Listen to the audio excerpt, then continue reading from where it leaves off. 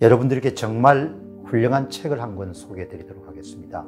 이 책은 세계사의 중요한 사건과 관련한 또 중요한 인물과 관련된 예화라든지 그런 흥미로운 이야기를 함께 싣고 있기 때문에 전혀 지루하지 않게 읽어 나갈 수 있는 그런 책입니다. 여러분께 정말 아주 강력하게 추천하고 싶은 책이 기독교로 보는 세계 역사입니다.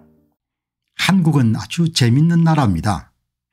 매일매일 새로운 그런 사건들이 터질 정도로 그야말로 아주 다이내믹한 그런 나라입니다.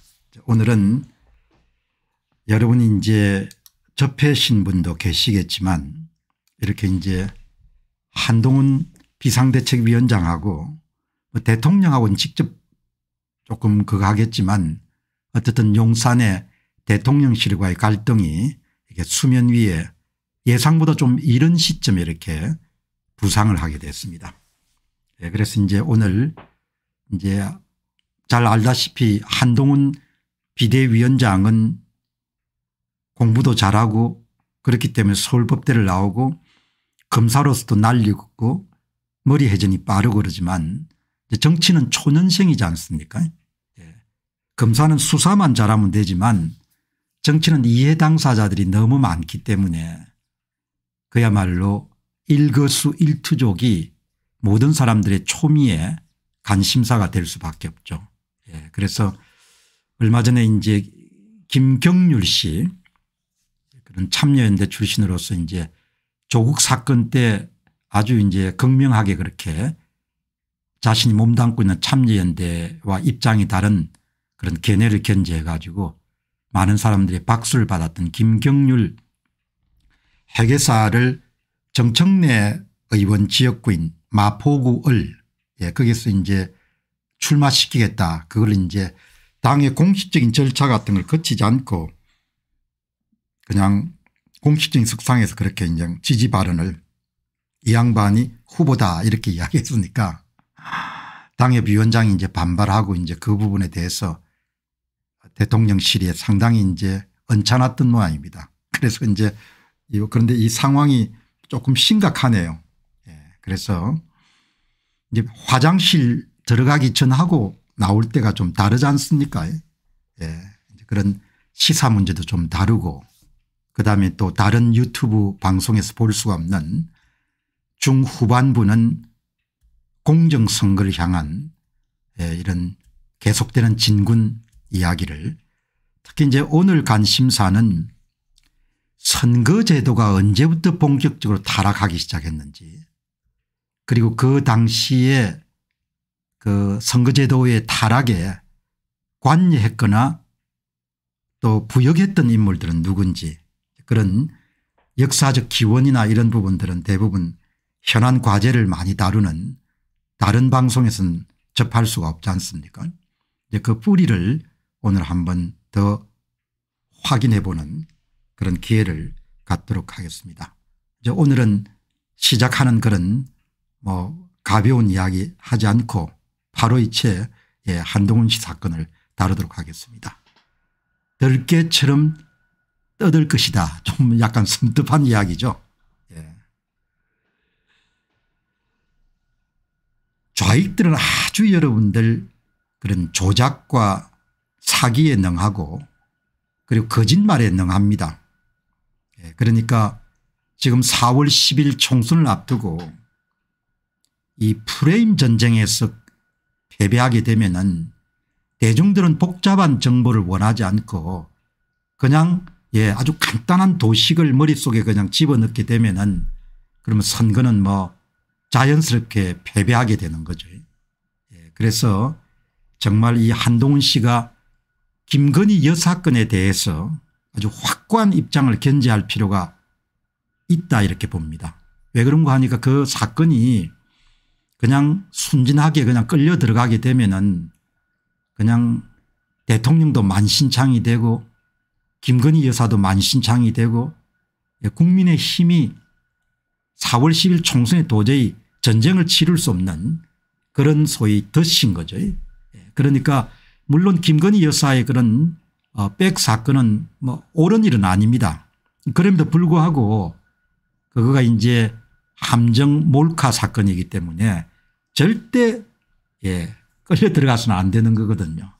예, 그런데 이제 이 부분이 이제 발생을 해버렸네요. 지금 조선일보의 톱 뉴스는 윤석열 한동훈 지지 철회 보도에 대해서 한동훈 장관이 뭐 그런 것은 사실과 다르다. 이렇게 딱 잘라서 이야기를 했어야 되는 건데 거기에 대해서는 긍정도 부인도 하지 않고 국민 보고 할 일 하겠다. 그렇게 하니까 이제 갈등이 정말 있었구나. 이렇게 이제 기자들이 그 기자들은 그런 감각이 있지 않습니까? 예 그래서 이제 아주 어, 지금 보도가 많이 됐네요. 추가적인 이야기가 나왔는데 이 이야기는 제가 예, 이 아주 확고한 그런 본인 태도를 갖고 있어야 되는 거죠. 선거는 프레임 전쟁이기 때문에 저게 프레임에 걸려들지 않아야 되거든요.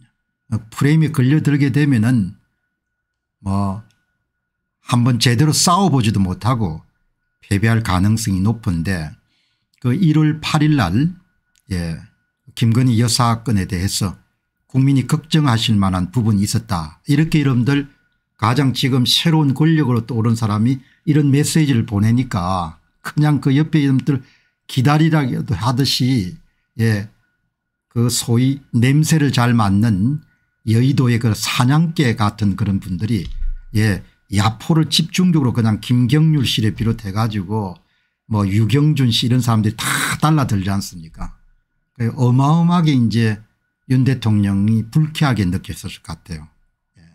아니 그거는 다 끝난 사건이고 그거를 당신이 좀 예, 디펜스를 해 줘야 되지 당신이 그렇게 하면 어떻게 하냐 이런 섭한 마음이 들 거라고요. 그 언론들은 계속 기다렸지 않습니까 한동훈이를 몰아가지고 예. 어떻든 한동훈 비대위원장 입에서 김건희 사건을 어떻게 처리하겠다 이런 이야기가 나오기를 그렇게 이제 딱 나오게 되면 그 다음에 이제 예, 거기에 이제 발을 예, 예, 그냥 그냥 잡히게 되면은 그러면 이제 4월 10일 총선은 그야말로 김건희 여사 총선이 돼버리는 거죠. 예. 이제 그 내용이 결국은 이제 정치판에 오래 있었던 사람들이 그런 용산 대통령실에는 많을 테니까 아, 저 양반이 좀 실수한다 이렇게 아마 생각했을 겁니다. 그렇게 해가지고 아마 이제 급히 아마 국민의힘의 수뇌부 한동훈 비대위원장을 포함해 가지고 그다음에 이제 정무수석이 이관섭 씨입니까 예, 뭐 정무수석의 이야기라는 것은 다르게 이야기하면 대통령의 의중을 실었겠죠. 가서 뭐 예? 총선에서 시스템 공천이 돼야 되지 특정인을 미는 듯한 발언을 비대위원장이 공식적인 석상에서 하는 것은 당내 분열만 촉진하니까 좀 조심해 달라 그렇게 하고 또 그다음 이야기 안 했겠습니까 지금 우리가 김건희 여사건에 끌려 들어가게 되면은 완전히 더불어민주당의 페이스에 말려드는 거니까 그 부분에 대해서 명확하게 그런 입장을 견지해 달라 그렇게 이야기를 했겠죠. 뭐. 예. 그렇게 이야기를 하지 않을 수 없는 상황이었을 겁니다. 이제 이렇게 여러분들 됐는데 밑에 댓글을 쭉 보니까 여러분들 뭐 이런저런 이야기들이 많이 나오지만 한동훈 비대위원장이 김건희 여사 건을 언급하기 전까지만 하더라도 압도적이었거든요. 예. 조선에 댓글을 남기신 분들의 의견이 더불어민주당의 계략이니까 절대 빠져서는 안 된다. 그런데 지금은 조금 입장이 달라진 것 같아요. 그러니까 언론들의 선전 선동이 상당히 먹혀 들어간 거죠. 음. 그 이때 한동훈 비대위원장이 입장을 굳건하게 유지를 해 주셔야 되는 건데 딱 여러분들 그 댓글을 보니까 한 분이 정확하게 지적을 하네요. 적들이 쳐놓은 올무에 걸려드는구만 안타깝습니다. 예. 이게 123명이 찬성하고 5명이 반대니까 아주 늦은 시간에 나온 기사니까 지금은 뭐 아마 뭐 몇백 명 더 늘었을 겁니다. 그 이게 여러분 여론인 거거든요. 예. 그 사람들은 프레임 전쟁에 참 능하지 않습니까 좌파들은 그러니까 지금 국민의힘 싸우는 걸 보면은 뭐 국민의힘이 이렇다 저렇다 윤 대통령이 이렇다 저렇다 하지만 그럼에도 불구하고 내버들 했습니까 예. 그럼에도 불구하고 국민의 힘이 잘 싸워주기를 바라는 마음은 있지 않습니까 예. 윤 대통령이 잘 싸워주시기를 바라는 마음이 있죠. 예. 그렇게 더 안타까운 겁니다. 적들이 쳐놓은 올무에 걸려들어서 안 된다는 겁니다. 예. 그러니까 이 참 이게 이제 정치 초년생이지 않습니까 아무리 똑똑하더라도 그러니까 본인의 그 소위 입장 이 어떻게 서 있느냐에 따라 가지고 그 눈치밥이 빠른 사람들이 여의도의 여러분들 그 셰퍼드 이상 정도로 냄새를 맡는 사람들이 한동훈이 어떻게 입장을 정하느냐에 따라서 자기 입장이 다 왔다 갔다 하는데 그런 부분에 실수가 이게 정확한 표현이거든요. 음. 적들이 쳐놓은 올무에 걸려드는구만. 언론이 뭐라 해도 뭡니까 총선까지는 깡무시하고 그냥 가야 되는 거죠. 예. 잘잘못을 떠나가지고 그 저희가 너무나 불순하기 때문에 예. 그 이제 대통령실은 뭐 이런 이야기들이 나오니까 예. 오늘 대통령실 사태 관련 보도에 대한 한동훈 비대위원장의 입장에 대해서 비대위원장의 거치 문제를 용산 대통령실이 관여할 일이 아닌 겁니다. 예, 관여했어도 안 되는 일이고 예, 그러니까 어떻든 간에 이번에 해프닝을 잘 덮어야 되겠죠. 예, 이런 것은 아주 큰 실수거든요. 한동훈 위원장이 공식적인 석상에서 참여연대 출신의 회계사인 김경률 씨를 그냥 노골적으로 이 사람이 마포울에서 정청래 의원과 다툴 사람이다 이렇게 이야기하면 안 되지 않습니까 그걸 며칠 전에 제가 보도했죠. 예, 그때 이름 제가 분명히 지적했거든요. 예, 이런 식으로 하면 안 된다. 설령 자기 마음속에 김경률 씨가 있더라도 공식적인 여러분들 공천관리위원회에서 공식적인 절차를 밟아 가지고 그 사람을 미는 형식으로 돼야 되지. 그거를 예, 지금 하면 안 되는 거죠. 그러니까 여기서 이제 용사는 대통령실은 어떻게 해석했는가 하니까 저 양반이 옛날에는 안 그랬는데 들어가고 나서 자기 사람을 심으려고 하는구나 이렇게 생각하는 겁니다. 예.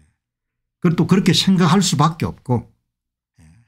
그러니까 권력의 여러분들 그 축에 있는 사람들은 당연히 뭐죠. 예. 미래 권력이 미는 사람들을 자기 사람으로 채우려고 하는 모양이다. 이렇게 의심을 할 수밖에 없는 겁니다. 예. 그렇게 이제 나오니까 이게 이제 참 조심 안 하면은 대통령에게도 굉장히 타격이 되겠네요. 예. 여러분 이 보시면 제가 이렇게 좀 까칠한 이야기를 윤 대통령에 대해서 선거와 관련해서 말을 하지만 그럼에도 불구하고 제 입장이 그래도 여러분들 더불어민주당을 두둔할 수는 없는 거지 않습니까 그러니까 어떻든 대통령이 잘 되라고 하는 이야기가 까칠한 이야기가 나오는 거니까 그 이제 이런 부분들이 한동훈 씨가 좀 잘못한 겁니다. 예. 이게 보니까 이 여권 일각에서 나오는 이게 정확한 지적이거든요. 한동훈 위원장이 야당의 프레임에 말려들고 있다. 예. 동조할 게 아니라 맞서 싸워야 된다. 그래서 이런 한동훈 비대위원장이 출범하고 나서 제가 별다른 논평을 하지 않고 쭉 지켜보는 겁니다. 예. 한동훈 위원장의 상품성이라는 것은 신선함입니다. 그러나 대중들은 금시에 잊어버립니다. 만각이라는 것이 너무나 여러분들 겁나기 때문에 언론에 노출되기 시작하게 되면 은 이회창 씨의 이름 대쪽이나 한동훈 씨의 이름 참신함이나 이런 것은 몇 줄을 갈 수가 없는 겁니다. 몇 줄을 갈 수가 없는 것이 바로 정치판의 신인이 갖고 있는 그런 상품성이거든요. 이제 그 다음부터는 본인이 정치판에 진입하고 난 다음에 어떻게 처신하느냐 이런 부분들을 지켜볼 수밖에 없지 않습니까 강주광역시의 이름들 5.18 묘역에 가가지고 묘비석 열심히 닦아봐야 호남에서 국민의힘한테 표 안 줍니다. 궁금하게 되면 3구 대통령 선거 여러분들 선거 데이터 한번 보시기 바랍니다. 후보별 득표수 몇 천 표 줍니다. 몇 천 표. 몇 천 표도 사전투표 득표수를 조작해서 몇천 표를 또 훔치지 않습니까 국민의힘은 노력은 해야겠지만 호남에서 표 안 줍니다. 그러니까 5.18 여러분들 정신을 살리자고 그렇게 해서 열심히 여러분들 묘비석을 좀 닦아봐야 그 말짱황이라는 이야기입니다. 그렇다면 노력을 하지 말자는 이야기는 아니고 그거가 구태의연한 정치인과 똑같은 모습을 한동훈 씨가 보이는 걸 보면서 제가 예, 저 양반이 지 생각이 없네. 자기 생각이. 꼭 이런 기성정치인이 하는 그 절차를 그대로 뭡니까 닦으니까 아니 지 생각이 있어야 될 거 아니야. 신선함이란 것이 뭐죠 새로움이란 뜻도 있지만 자기가 뭡니까 대세하고 좀 달리 뭔가 대중들에게 조금 역풍이 있지만 아 저 양반 진짜 자기 생각이 있구나. 줏대가 있는 양반이구나 이런 게 여러분 들어가야 되지 않습니까 여러분 제가 다시 이야기하면 은 국민의 힘은 죽었다 깨어나더라도 호남권에서 표 못 받습니다. 제가 이름 경악한 것은 3구 대통령 선거 때 그렇게 여러분들 윤석열 후보가 공을 들였습니다 불구하고 표 나온 것을 보고 여러분들 뭐죠 그냥 몇천 표 수준입니다. 그 몇천 표 가운데서 사전투표 득표수를 완창 도둑질 해가지고 그야말로 뭡니까 예.